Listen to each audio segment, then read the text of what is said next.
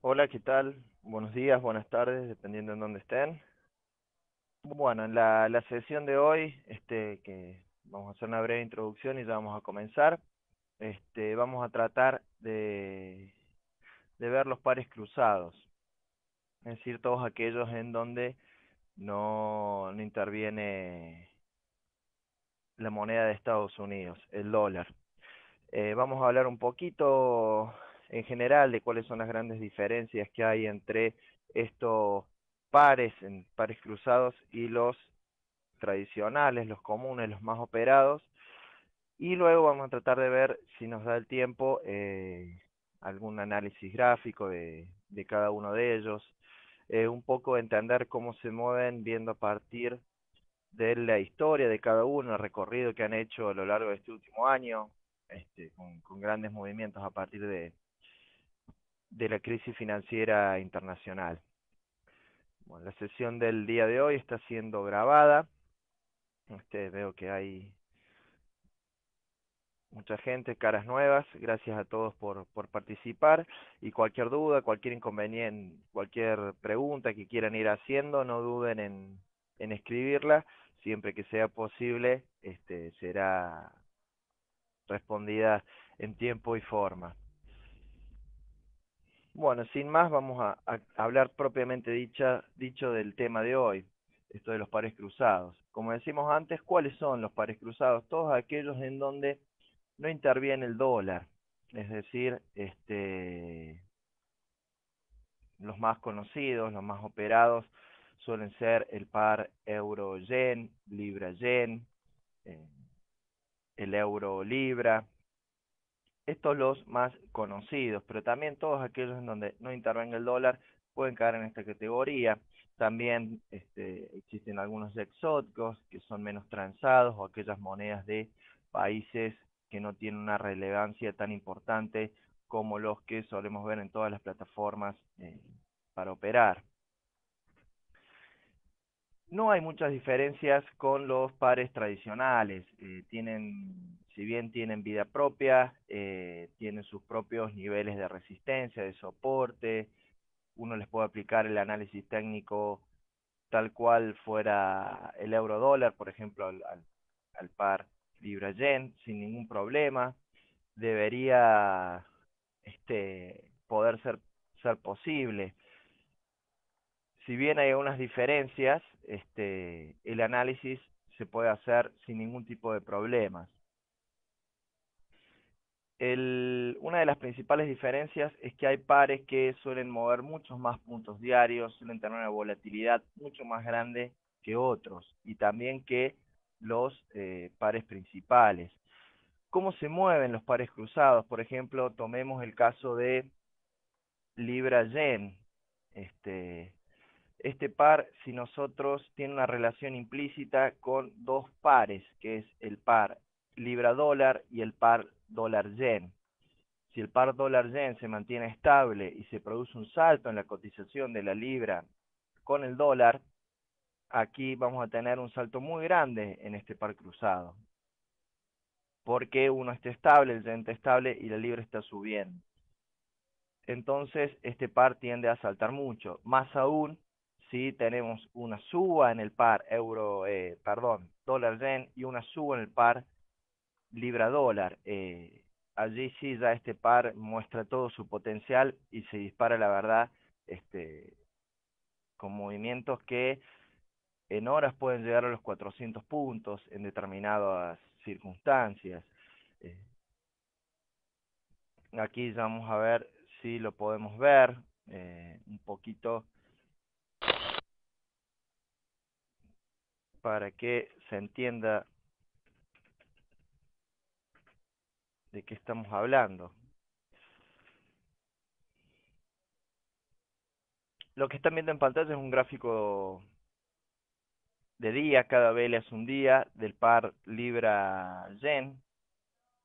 Y si vemos ahí en estos últimos, desde la caída que tuvo el día miércoles, jueves y viernes, el par cayó mil puntos en tres días eh, para que se den una idea de la magnitud que tiene el par y cómo, y cómo se mueve. aprovecho que John pregunta qué vamos a hacer para operar estos pares. Eh, estos pares son perfectamente operables, eh, simplemente hay que tener en cuenta eh, un tipo de cuestiones y particularidades. Primero y principal, antes de operar, conozcan el par. No es lo mismo operar este par que operar, por ejemplo, el franco suizo, el cruce del euro con el franco suizo, ya que sus recorridos son distintos, la volatilidad es distinta eh, y suelen tener movimientos en distintas circunstancias. Entonces, antes que nada, antes de operar un par, no se larguen así como así a comprar y vender eh, de determinados pares, es lo que por lo menos yo les recomiendo sin antes conocerlos, sin antes haberlos seguido por eh, un periodo de tiempo. Eh, ¿Por qué les digo esto? Eh, el par Libra-Yen, el que estamos viendo en pantalla, tranquilamente es operable, de hecho da posibilidades muy importantes, como ustedes vieron, de, recorridos, pero al ser un par mucho más volátil, tienen recorridos mucho más grandes, si rebote en determinado soporte o resistencia, el rebote tiende a sobredimensionarse, y si lo tomamos como si fuera, por ejemplo, el euro dólar, con el mismo nivel de apalancamiento, los mismos criterios para fijar stops y toma de ganancias, puede que nos vaya muy mal. ¿Por qué? Porque nos vaya muy mal. Por un lado, si no usamos stop eh, y tenemos el mismo nivel de apalancamiento, ponemos en peligro una gran porción de nuestro capital. Por otro lado, eh, al ser mucho más volátil, generalmente necesitamos una mayor flexibilidad, es decir, por el lado del stop, no ponerlo tan cerca, ya que pequeños rebotes eh, nos sacan fácilmente de nuestra posición. Supongamos que entramos a la venta y de golpe en, un periodo pequeño la libra sube frente al dólar unos puntos, el, el dólar sube frente al yen también unos pocos puntos, Tomen en cuenta que esto va a repercutir fuertemente sobre este par con un alza muy importante y que generalmente nos puede llegar a sacar nuestra posición y que cinco minutos después el par ya vuelva hasta por debajo de nuestro punto de ingreso. Eh, ¿A qué voy con esto? Que hace falta ser un poquito más flexible y esa flexibilidad tal vez implica entrar menos apalancado con este par por lo menos en cuestión. También con el par euro-yen, suele ser un par que mueve muchísimos puntos eh, por día, pero yo creo que el más volátil de todos, por lo menos de los pares cruzados más operados, más conocidos, es sin lugar a duda eh, el par libra-yen por, por excelencia. Más que nada, creo que en estos últimos días este, lo, ha demostrado. En, en la época de, de la crisis financiera, si lo vemos más aquí, si bien parecen velas pequeñas, recordemos estamos en gráfico de día, fíjense esta vela, un movimiento de 2000 puntos en un solo día, para que tengan una, una noción. Este, Pueden ser, sí, está bien, ustedes dirán 2.000 puntos a favor, sí, pero también pueden ser 2.000 puntos en contra y en un solo día semejante cantidad de movimientos obliga a tener una precaución extra. A su vez, bueno, eh, los pares, si bien generalmente hay una correlación entre, entre muchos de ellos, generalmente el par Libra-Yen tenía una correlación positiva con el par Euro-Yen, en los últimos días eh, no se han puesto de manifiesto, se han notado unos pequeños cambios, este cruce ha quebrado una, importantes niveles de soportes, mientras que el euro-yen todavía los mantiene. Es decir, todo esto eh, lo que les quiero comunicar es que cada uno, al margen de tener una correlación positiva, ya sea con otro cruce o, contra el, o con el mercado de acciones, tiene en el fondo una vida propia y que esa vida propia hay que tenerla en cuenta antes de operar. ¿Cómo lo hacemos? Viéndolo el par, este, trabajándolo, haciéndole los mismos estudios que si estuviéramos operando con los pares principales. Esto que, que se entiende. Y es más, en realidad te exigiría un estudio extra dada la volatilidad del par y el riesgo que implica. Pero bueno, si somos inversores este, precavidos, no deberíamos tener ese problema y aplicaríamos la misma cantidad de estudios a todos los pares. Pero bueno, eh, son cuestiones que yo por lo menos le, les recomiendo. Eh, Josué pregunta, según su opinión, ¿es mejor operar en estos pares? No sé si es mejor. Para mí el mejor par para operar es tal vez con el que tú más lo conozcas, con el que más estudios hayas hecho y que esos estudios mejores resultados te hayan dado. Eh, general, personalmente, eh, me parece que hay en determinadas circunstancias que es bueno operar los pares. Eh, no siempre, hay veces que el mercado se va perfilando de determinada forma y que las oportunidades están más claras o más o generan un, una posibilidad de ganancia mejor que en otras y en aquellos casos es donde ahí te diría si es bueno operarlo. No sé si mejor que operar otro par, porque eso lo determina la, la circunstancia del momento. Hablando en, en general, también depende de tu nivel de soporte al riesgo, de tu capital, de tus niveles de apalancamiento y de los pares en cuestión que estés eh, planeando operar. Y cada, cada par también tiene, tiene su sorpresa. Por eso es que por ahí es más difícil operar estos, estos cruces, ya que es imposible seguir, por lo menos para mí, tantos pares al mismo tiempo pero si sigues uno en particular y todos los días lo miras y le haces el análisis, eh, ¿por qué no operarlos? No sé si mejor o peor, pero digo, ¿por qué no? Si haces el estudio, sabes que te da posibilidades, que puedes ganar, eh, ¿por qué no operarlos? Lixer pregunta, ¿los pares cruzados pueden llegar a cambiar? Eh, no, no entiendo bien la, la pregunta. Si te refieres a, a las correlaciones, que hablábamos antes sí que pueden llegar a cambiar.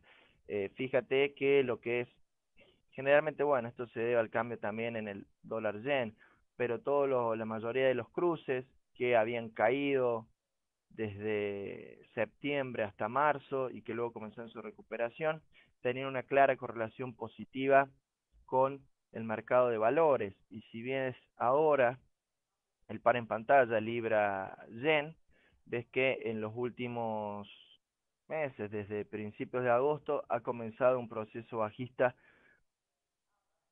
muy importante, que nada se relaciona con la suba que hemos tenido en las acciones en este último tiempo, alcanzando máximos para el 2009. Ahí sí hay un, hubo un cambio en el par cruzado, pero no sé si te refieres a este tipo de cambios u otro, u otro tipo de, de modificaciones. Jack pregunta, ¿el oro y el petróleo se vinculan de algún modo con algún par cruzado? Eh, lo que tiene que ver con las commodities eh, afectan generalmente a la moneda de determinado país, así como podemos decir que el oro afecta a Australia y que el petróleo, no sé, afecta a Canadá, pongamos. Sí va a afectar todo esto a todos aquellos pares cruzados en los cuales intervengan estas monedas. Es decir, no es que hay un activo que se relacione eh, específicamente con determinado par, sino que yo personalmente ataría más el, commodity a la moneda del país que afecta y allí a todo el resto de las eh, eh, pares que, que, incluyen a esta moneda. No sé si te queda clara la, la, la, explicación, Jack, pero bueno, por lo menos es como yo supongo el, el análisis. Volviendo un poco a, lo que estábamos este, en la sesión de esto de los pares cruzados para, para comprendiendo un poquito más, este, tengan en cuenta que tienen una relación muy grande con otro tipo de pares. Si estamos hablando, para seguir con el ejemplo del par Libra-Yen, y decimos que tiene un objetivo alcista, por ejemplo, en 170, estoy tirando números así un poco exagerados para que se entienda este a lo que voy, que este par llegue hasta determinado nivel tiene una implicancia dentro de otros pares en precios. Por ejemplo, para que este par llegue hasta 1.70 con el nivel que tiene hoy el par dólar yen, supongamos que se encuentra alrededor de 89.00, esto implica que la libra dólar debería llegar hasta 1.90, para que nos demos una idea. Es decir, si queremos ver que este par llega a 1.60, a 1.70, perdón, o de vuelta hasta 1.62 para hacerlo un poquito más eh, realista, fíjense que, aquí estoy haciendo un pequeño cálculo, para que el par vuelva a 1.60 la libra con el nivel actual del dólar yen debería saltar hasta 1.80 frente al dólar. Eh, este tipo de cuestiones sirven un poco si eh, estamos operando a largo plazo, que sirvan al, al análisis, decir, bueno, si este par tiene que llegar hasta determinado nivel, implica que otros pares, sobre todo los principales, muestren estos niveles de precios o se muevan de determinada forma. Esto es importante tenerlo en cuenta, como les decía antes, sobre todo si se opera a largo plazo o si, por ejemplo, estamos posicionados comprados en, en, en este par en que estamos viendo, en la libra yen, y el par libra dólar se está aproximando a una zona de resistencia muy importante, que tal vez me frene la, cotización de la libra por, por un momento, y si a su vez el par dólar yen tiene una cotización bajista, puede generar un problema y este pequeño análisis es un extra más a la hora de la operación, a la hora de tal vez por ahí eh, aumentarnos las probabilidades de tener éxito con la misma. Si bien en el fondo tal vez la decisión venga por cuestiones técnicas, no, no descartemos nunca ver las cuestiones técnicas en los pares relacionados a los cruces que estamos operando. En este caso pues estamos viendo Libra Yen, pero si por ejemplo estamos hablando de euro con el franco suizo, ver qué está haciendo el euro con el dólar y ver qué está haciendo el franco suizo con el dólar, o con otro par también se, se puede ver, pero generalmente es lo mejor es vincularlo con este con el dólar también, ya que es la, los pares más, más importantes. Lixer pregunta, hay pares que son casi gemelos, ¿a qué se debe esto, Matías? Eh, bueno, creo que en los últimos tiempos han quedado pocos gemelos gemelos, eh, se han independizado un poco los pares, pero sí todavía podemos seguir viendo eh, muchos que se mueven muy parecido. Y esto sucede que el mercado en sí puede seguir una misma, una misma directriz. Hoy en día, en los últimos, en este último mes, el, dólar estaba muy débil, entonces todas las monedas subían en contra del dólar. Y de allí ya te da un indicio de que eh, todas están subiendo. Y si estamos analizando dos pares, ¿cuál va a subir más que el otro? Bueno, el que esté subiendo frente al dólar a una velocidad mayor va a permitir marcar una pequeña diferencia. Pero generalmente hay una correlación positiva entre muchos pares, pero difieren principalmente en la velocidad. Esto de velocidad es lo que te decía de que supongamos que estás analizando dos cruces, uno que involucra al dólar australiano y otro que involucra al dólar de Nueva Zelanda, seguramente aquel que esté subiendo con más fuerza frente al dólar, su cruce también va a estar subiendo con más fuerza. Eh, no sé si queda, queda claro, me parece que no estoy siendo muy claro. Eh, tomemos por ejemplo de vuelta el dólar de Nueva Zelanda y el dólar australiano. Los dos están subiendo con, contra el dólar. Y si tomamos el cruce entre dichas monedas, va a favorecer aquella moneda que esté subiendo con más fuerza frente al dólar. Eh, si esto lo trasladas al resto de las monedas, ves que por esto es que se eh, hay una relación entre todas en general en el mercado, excepto cuando se producen algún tipo de cambio en las correlaciones. Eh, recordemos que antes, antes no, hasta hace no mucho tiempo, cada vez que las acciones subían y se recuperaban, el dólar tendía a subir frente al yen, pero a partir de determinado momento, el yen respetó su tendencia bajista, alcista frente al dólar y no siguió mucho más tiempo por lo menos las acciones eh, en Estados Unidos y en, el mundo en general, y reinició sus movimientos bajistas. Esto generó un fuerte cambio también en muchos pares que se venían moviendo de una forma y pasaron a moverse de otras. Hubo cambios en las velocidades, por lo cual algunos pares cayeron más que otros. Eh, ya vamos a ver el caso del franco suizo con el yen, eh, mientras todos los cruces que involucran al yen estaban quebrando importantes soportes que mantenían una caída generalizada del yen, el franco suizo la seguía manteniendo, pero bueno, a principios de esta semana no, no lo pudo mantener más y estimo que con los movimientos de hoy la fuerte caída del franco más que los confirmó. Eh, me salté una pregunta de, de, William que dice la recomendación sería concentrarse en un par como Libra Yen y sus pares cruzados. La ventaja es, según la primera sabemos cómo van las otras dos, está bien. No necesariamente, eh, aparte en el momento sí sabes cómo están los otros dos, pero tú lo que tienes que buscar es ver qué es lo que va a pasar a futuro o cuáles son los probables objetivos. Primero analiza el par cruzado, sí, en cuestión. Eso sí está, lo comparto totalmente. Y después como un anexo, como una ayuda extra, puedes ver los pares asociados, le pongamos de esa forma.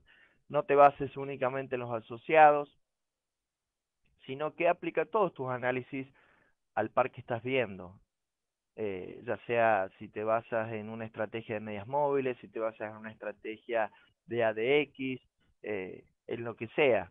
Utiliza más que nada y principalmente esos y después lo, estos anexos. Pero ten en cuenta y estudia cada par. La vida de los pares eh, a partir de la crisis financiera cambió bastante. Si lo vemos aquí, por lo menos en, en Libra vemos como antes tenía, ahí vemos en el año 2005, 2006, hasta, hasta mediados de 2007, tenían recorridos bastante pequeños, bastante normales, eh, tal vez seguían más fácil una tendencia y a partir de la crisis, antes de la crisis financiera, pero bueno, cuando se sintieron los primeros cimbronazos a partir del año 2007, esto cambió y se transformó en un par muy volátil, casi en línea con lo que sucedió en todo el mercado. Volveremos a esta normal, la normalidad de antes. Eh, es pronto saberlo, lo que sí en los últimos meses ha disminuido un poco los recorridos, no son lo mismo que eran durante octubre y diciembre del 2008, pero esta semana con y la semana pasada eh, nos dieron una lección un poco este par de que la volatilidad siempre puede volver y que hay que tener mucho cuidado cuando se operan este tipo de cruces. Para que vean la diferencia entre uno y otro, vamos a ver ahora otro cruce entre el euro y el franco suizo. Eh, para ver a grandes rasgos las grandes diferencias que puede haber entre uno y otro. Lo que estamos viendo ahora es el cruce entre el euro y el franco suizo. Este par, a diferencia del anterior, se mueve muy poco, muy, muy poco. Eh, los movimientos diarios rara vez superan los 70 puntos, rara vez. Pero aún así, siendo este par tan calmo, durante la crisis financiera tuvo sus momentos de gran volatilidad y ahora la tiene por las posibles intervenciones del Banco Nacional de Suiza, que no quiere ver este par por debajo de la línea de 1.50, pareciera ser el límite de, la intervención, pero bueno, hoy hemos tenido un salto que habría que ver a qué se debió. Eh, en definitiva, ¿qué les quiero decir con todo esto? Es lo que decíamos antes, de que cada par puede tener su vida propia y es bueno, si uno los va a operar, seguirlos, ver eh, qué nos están mostrando y conocer sus particularidades. En este par eh, es interesante, por ejemplo, saber eso, saber que es un par que se mueve poco, lo cual por ahí permite hasta tomar una posición a más a más plazo o con más lotes, etcétera. Uno lo sabrá acorde a sus estrategias. Fíjense que desde marzo se ha movido en una banda de 350 puntos. Y desde agosto la banda ha sido de 180 puntos, no ha salido de eso. Este, lo cual es eh, queda a las claras la poca volatilidad que tiene este par. Pero sin embargo, como ven esta vela acá fuertemente alcista, esto fue una intervención por parte del Banco de Suiza comprando euros para hacer saltar eh, la cotización. ¿Por qué? Porque el banco, el, las autoridades suizas, más que tomar en cuenta el par franco suizo dólar, que debería ser lo que uno tal vez por ahí piense rápido, que toma en cuenta, no, se basa más que nada en este cruce y las intervenciones en este cruce también obviamente que influyen la cotización del franco suizo con el dólar, ya que tiene que tener necesariamente una, una relación, no, nunca puede existir un desfasaje entre un par cruzado y eh, el resto de los pares. Eh, esto sépanlo, eh, no, nunca van a encontrar, por ejemplo, este par cotizando en 1.60 con los precios actuales del euro dólar y del eh, dólar franco suizo.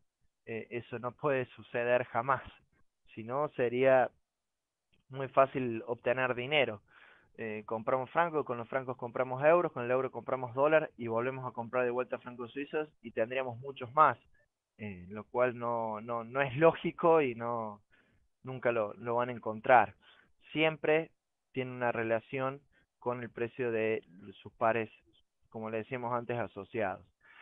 A su vez aquí también tenemos otra super una sucesión de tres velas alcistas, que fue cuando el banco intervino por primera vez y que anunció que no iba a permitir tener este cruce eh, fuertemente apreciado para favorecer a su, al sector exportador de, de Suiza, que es una economía que depende bastante en sus exportaciones.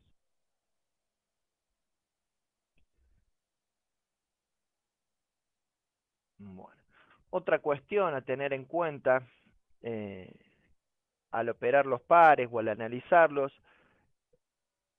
que es que tiene una cierta relación con las distintas sesiones a lo largo del día. ¿Qué quiere decir esto? Que si, por ejemplo, durante la sesión asiática eh, volviendo al, par libra libra yen la libra generalmente suele permanecer estable frente al dólar y frente al resto de los pares y no se mueve mucho. En cambio el yen sí se suele mover. Bueno tengamos en cuenta que en el par cruzado libra yen mientras dure la sesión asiática tal vez tenemos movimientos más guiados eh, por lo que haga el yen que por lo que haga la libra y si luego, una vez iniciada la sesión europea y se continuidad en la sesión americana, esto se da al revés, es decir, que el yen tiende a calmarse y la libra a realizar movimientos un poco más eh, recorridos más largos, entonces quien lidere los movimientos en la libra yen tal pase a ser la libra. Bueno, esto no ha sido muy común en los últimos tiempos, ya que eh, se han movido prácticamente todos los pares en, en todo tipo de horarios.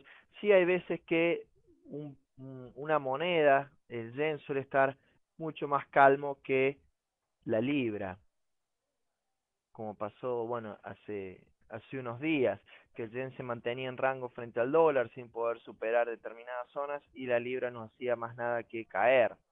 Esto generó una fuerte caída en el par, que si bien luego rebotó y se recuperó, este, generó un importante recorrido bajista. Eh, William dice, pensé 1.2.00, no, no sé a qué te, a qué te refieres. Eh, estoy leyendo las preguntas, les pido disculpas a John que ahí hay, había dejado una pregunta que no, no había leído, que dice hay pares en donde es muy difícil a veces trazar líneas de tendencia por su ruido, por ejemplo euro, dólar nueva zelandés. Es cierto, eh, estos pares, generalmente los que son más volátiles por la configuración de, cómo están armados, suelen tener muchos movimientos y por ahí muchos ruidos.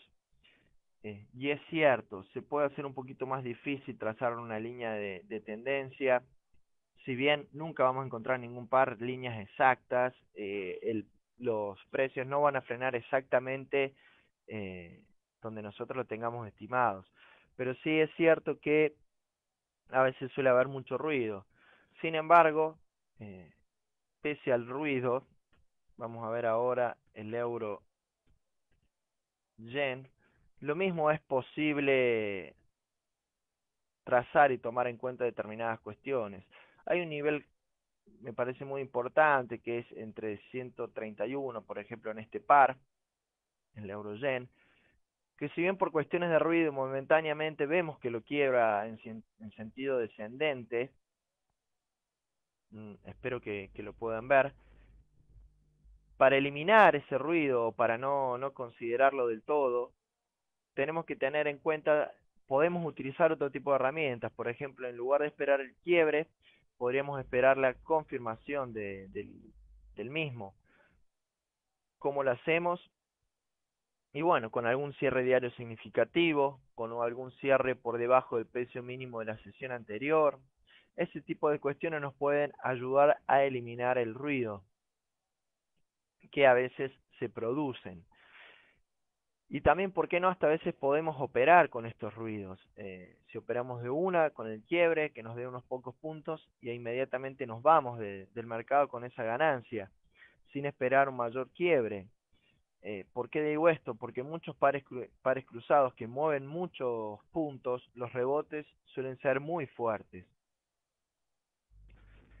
Eh, y si bien entramos con todo el análisis previo, eh, puede que el rebote nos deje muy rápidamente afuera de, la operación.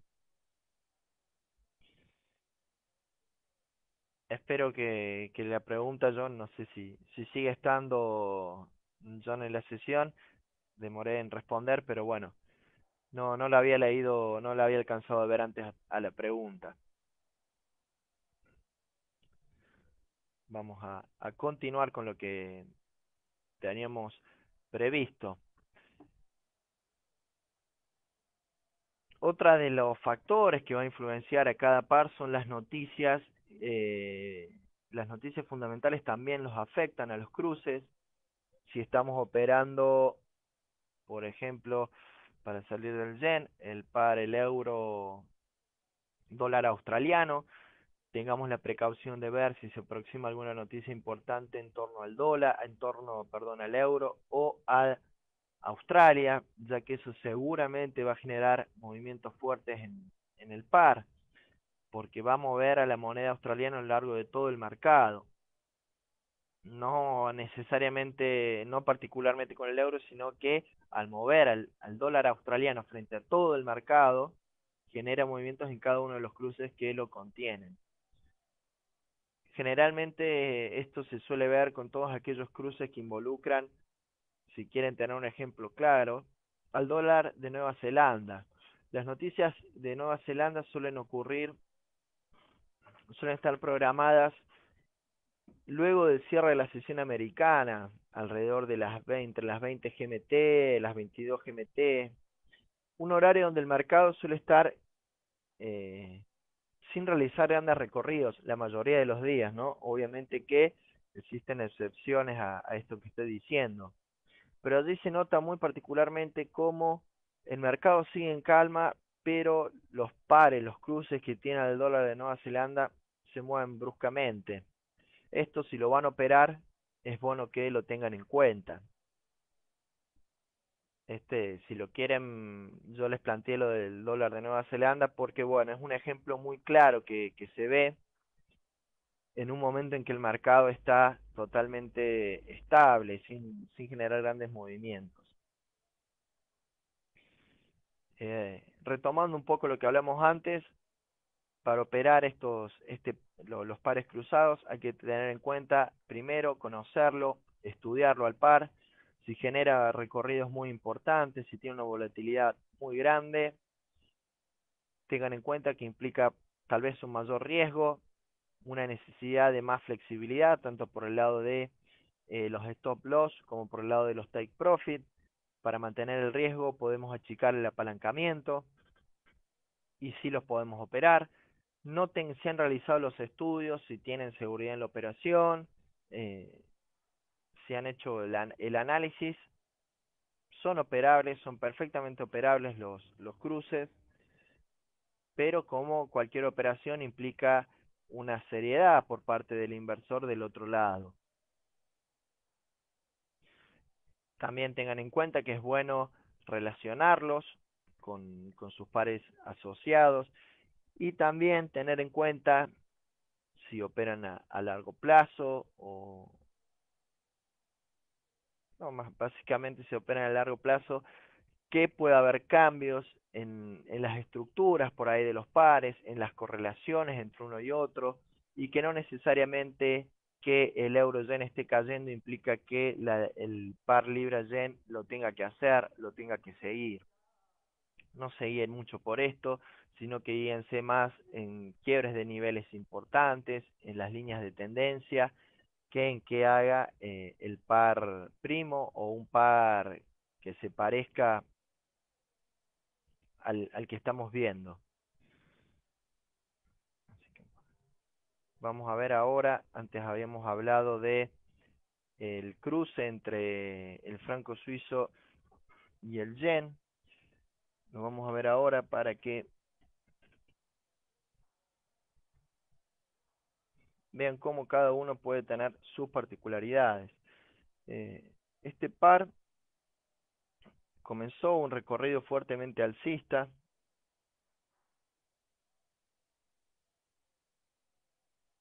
que pese a las apreciaciones que había tenido el yen y a los importantes quiebres en los otros pares que involucran el yen, este siempre se había mantenido con una tendencia alcista y la había respetado pero la semana pasada vemos que se produce un quiebre importante, se confirma el quiebre y vemos una caída que si bien a, este, a los ojos son 100 puntos, uno puede pensar que no es mucho, en realidad para este cruce sí es mucho, es una caída no, si bien no la más grande que ha tenido, sí es importante, sí son puntos que pueden generar una, buena ganancia si alguien los está operando.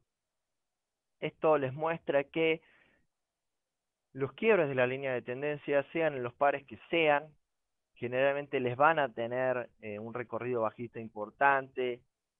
Las cuestiones técnicas se aplican también a estos cruces, como en el que estamos viendo en pantalla y que también esto sirve para ver cómo pueden tener una vida propia cada uno de los, de los pares. Como decíamos antes, eh, el yen ya había quebrado niveles interesantísimos con otras monedas, con el franco no, lo que daba a pensar que por ahí la iba a respetar. No la respetó, quebró y descendió fuertemente. Hay otros cruces también que, eh, que son muy útiles y que suelen respetar muy mucho lo que es el análisis técnico y las cuestiones que tienen que ver con eh, niveles y líneas de tendencia. Eh, hace pocos días esta debilidad en el mercado que, está sufriendo la libra y se manifiesta en todos los cruces que, que la contienen con importantes caídas, lo hemos visto en el par euro-libra, cómo ha respetado determinados niveles de, precios y cada quiebre ha generado un recorrido eh, importante hacia el alza. Primero y principal, vemos que aquí teníamos una línea de tendencia bajista muy importante, que el par no la había quebrado, confirmó el quiebre, hizo un, realizó un pullback y se disparó. A su vez, ese nivel en el cual se, se disparó, tal vez si lo habíamos trazado con anterioridad a los soportes y a las resistencias, vemos como cada vez que cerró el par un cierre significativo por encima de determinado nivel, continuó con su recorrido alcista. Pese que uno podría decir, este, en un análisis no técnico, no tan profundo, no, los mercados están subiendo, este par se ha estado relacionando eh, negativamente con el mercado de valores, debería seguir cayendo. No, quebró, lo respetó el quiebre, lo confirmó y siguió subiendo.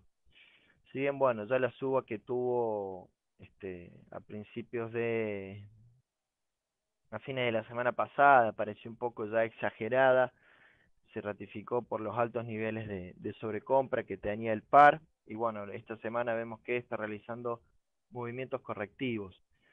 Sin embargo, estos movimientos correctivos hasta dónde pueden llegar y bueno, trazamos retroceso Fibonacci o lo que querramos trazar y pueden ser este, cumplidos perfectamente. Si aquí lo tomamos desde el último rally alcista, pasamos a un gráfico en cuatro horas, vemos que el par ha frenado justo en el retroceso de 38.2, que también coincide con un soporte que podríamos haber trazado con anterioridad, ya que fue los máximos este, de la primera parte del mes de septiembre, y vemos cómo ha frenado exactamente en este nivel. Eh, con esto les quiero mostrar que no le tengan miedo a realizarle los análisis técnicos a cada uno de estos pares cruzados, porque eh, hay determinadas circunstancias en determinados momentos donde suelen mostrar eh, un alto grado de cumplimiento. Y si uno ve que cumplen, si uno ve que quiebran determinado nivel y se, y se produce un recorrido favorable o en dirección a donde nosotros habíamos previsto que hay mayor probabilidades, ¿por qué no operarnos? ¿Por qué no eh, aprovechar este conocimiento extra que tenemos y ganar dinero con ello? John dice, lo otro que he podido apreciar con los pares cruzados es muchas veces la inmediata recuperación frente a un movimiento fuerte. ¿A qué se debe? Es interesante la pregunta y es cierto esto. Eh, y principalmente por lo que te decía antes, eh, muchas veces si estás con un par, uno de los, el, euro dólar, por ejemplo, que por ahí quiebra un, un, nivel importante, supongamos que en sentido alcista, va a generar una fuerte suba, eh, por ejemplo, en el par que estamos viendo ahora, el euro contra la libra. Y vemos que por ahí se dispara este par. Pero ¿qué pasa luego? si se trata de una debilidad del dólar en el mercado, la libra también va a tender tal vez después a también quebrar un, una resistencia importante y apreciarse frente al dólar.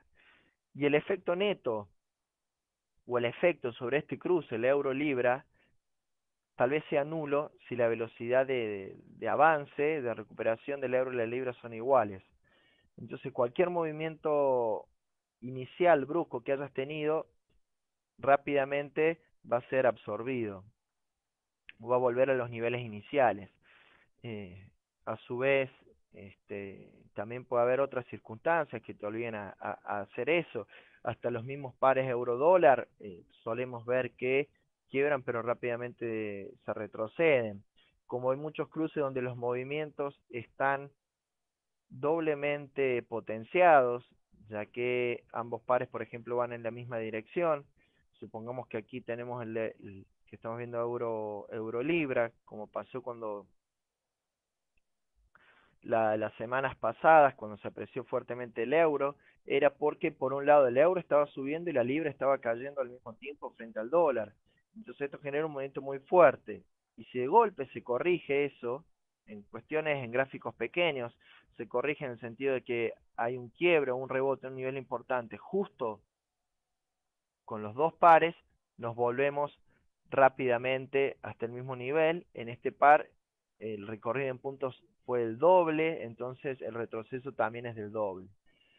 Muchas veces es por eso, a veces es porque también tenemos, este, cuando se produce una, una, una fuerte suba, tal vez va más allá de, de determinados niveles, quedan los pares demasiado sobrecomprados o sobrevendidos, y es normal que vuelvan sobre niveles clave. Como por ejemplo, si ustedes se fijan, eh, lo vamos a ver con el par libra yen que había caído hasta por debajo de este 140 justo ahí está tapando. Pero ahí en el extremo inferior derecho vemos que había quebrado momentáneamente al menos por debajo de 140 eh, este nivel ya era demasiado y el par rápidamente volvió y se mantuvo por encima distinto hubiera sido la situación si hubiera cerrado ya por debajo de este nivel de 140 y tal vez nos hubiera habilitado un nuevo recorrido bajista pero sí se dio un fuerte retroceso. Si bien acá uno lo ve y parece pequeño o, o no tan grande, bueno, este pequeño retroceso que se dio en muy pocos en muy pocas horas fue de nada más y nada menos que 120 puntos. Y luego siguió subiendo y le agregó otros 400 puntos de recuperación. Eh, en total, más o menos unos 600 puntos desde los mínimos. Pero bueno. Eh, Terracota pregunta Matías, para los que tenemos cuentas de 500 dólares o menos, trabajar en gráficos diarios y 4 horas es llevar la cuenta cero en una semana. ¿Por qué los expositores no dan estrategias de 5 minutos y 15 minutos? Este no necesariamente si operas minis cuentas no tienes por qué llevarte a cero. Si utilizas una estrategia eh, donde administras bien tus riesgos, tampoco tienes por qué llevarte a cero. Por otro lado, también hay una relación entre tu capital disponible, entre el riesgo a tomar, que si ves que te va a llegar a cero en una semana y no, no operes de esa forma, no realices esa operación y listo. Y las estrategias de 5 minutos y 15 minutos, mira, desconozco todas las temáticas que dan los otros expositores. Generalmente, eh, cuando hablan de algún indicador en particular o de algún oscilador o de alguna estrategia, la puedes replicar en 5 y en 15 minutos tranquilamente si es que no te la han dado. Cuando alguien habla, por ejemplo, sé que se han dado charlas de osciladores estocásticos, de distintas estrategias, eh, si la ves que se están dando en, en, en gráficos en 4 horas tal vez o en una hora, puedes tranquilamente llevarlos y probarlos en 5 o en 15 minutos. No, no necesariamente te dará tal vez los mejores resultados y por eso es que tal vez no te dan, eh, no se da mucha exposición sobre esas estrategias. Eh, en esto, en los pares cruzados también puedes operar con gráficos pequeños. Yo no lo recomiendo mucho, en, sobre todo si es de 5 minutos, pero, pero sí se puede. Eh, ¿Por qué tampoco lo recomiendo? Porque generalmente los pares cruzados suelen tener unos spreads más grandes, y a su vez cuando hay volatilidad, si tienes un broker que tiene los spreads variables, suelen aumentar mucho, entonces tú ya entras con una gran cantidad de puntos en contra.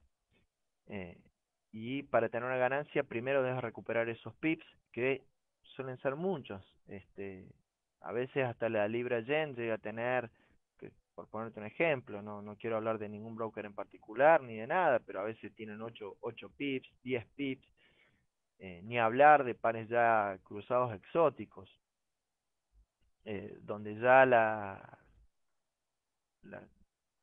los, los spreads suelen ser mucho más, más grandes. Eh, entonces eso genera problemas. Y si operas en gráficos pequeños buscando un monto, tal vez no tantos puntos, si operas en, el gráfico chico, y va, es complicado y se complica mucho la operación. Sé si con eso más o menos te, te respondió la pregunta. Eh, sí hay pares cruzados donde la gente suele este, ir atraído por los rápidos recorridos y la posibilidad de ganancia que les da. Pero bueno, así como te da esa posibilidad de ganar mucho, también tienes que tener en cuenta que puedes perder mucho. Eh, no sé si ha quedado, este, si he podido responder tu pregunta te noto un poco enojado con los expositores que no dan estrategias de en gráficos pequeños, pero bueno, eh, esas son las por lo menos las razones que se me ocurren a mí por las cuales no ves este, muchas tal vez exposiciones específicamente de gráficos en 5 y 15 minutos. Germán dice, pienso que en una pequeña cuenta no es recomendable operar un par cruzado, yo perdí mucho con la libra yen. Eh, sí, puede ser una, cierto lo, lo que dices. Pero bueno, eh, fíjate que si por ejemplo estás operando con euro dólar y usas tres lotes y un stop en 30 puntos, en riesgo estás poniendo aproximadamente 60 puntos. Eh, esto es equivalente a si tal vez operas libra yen, un solo lote, un stop a 60 puntos.